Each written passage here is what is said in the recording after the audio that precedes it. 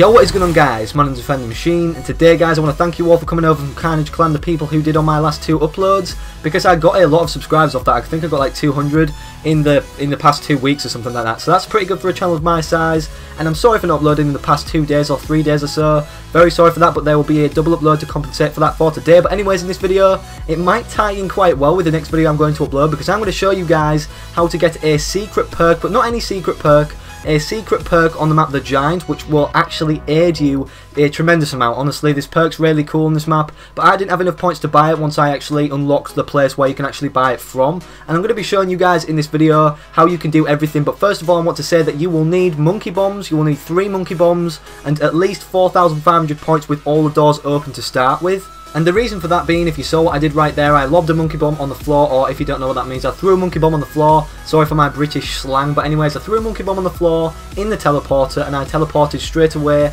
as soon as the monkey bomb hit the floor, or as soon as I could when the monkey bomb was on the floor in the actual teleporter. And all you have to do is do that for every teleporter on the map. You'll see me going around the three teleporters at least once, throwing a monkey bomb on the floor, and then teleporting straight after. And that's why you need 4,500 points but obviously you need more points to actually, you know, open the doors and everything. So I'd say this is a bit of a grind, guys, because obviously you need the points to buy the box, to spin the box, to get the monkey bombs, and then you need the 4,500 points at least without opening the doors to actually teleport yourself when you've lobbed a monkey bomb on the floor. If you are the guy with the monkey bomb, but the guy with the monkey bomb obviously needs to teleport. No one else, just him. And he's the only one who can actually do this step. You'll see me at the end actually activate the place where I can actually open or the snow I can melt with a giant robot to actually get the Deadshot Daiquiri or whatever you want to call it. Basically it's the headshot perk and it's a really good perk on this map because the Wunderwaffe is basically the designated wonder weapon of this map besides the ray gun because it used to be really good and it used to be probably the best wonder weapon overall throughout the whole Call of Duty franchise in the whole of the maps of zombies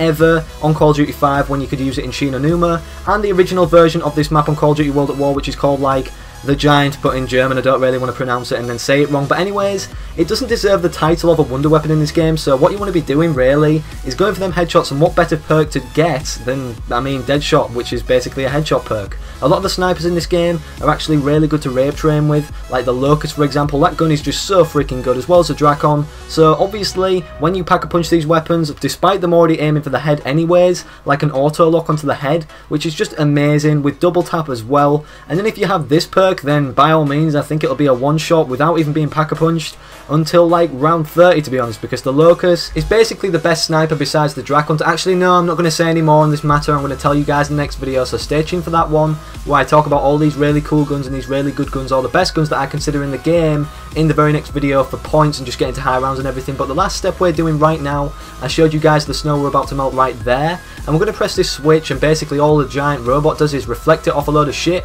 and melt the snow and then you can go and buy it. But obviously I couldn't go and buy it here because of the fact I already have 5 perks. And if you're wondering how I got 5 perks, I used the gobble gum, I didn't teleport and get a free perk. I've never done that. It never freaking works for me and I tried like 30 times after this but we already did the Easter egg or the mini Easter egg for the fly trap and then I don't think you get any more drops after that because 7 times in a row I really just didn't get any drops at all. But anyways, hope you guys enjoyed this video and found it helpful. Definitely recommend getting this perk, I wouldn't have made a video on it otherwise if it wasn't important. So slap a like on the video if you enjoyed and if you think it's more important to come back to than any others. And I'll see you guys in a video tomorrow or the next day, actually no the next upload and peace out.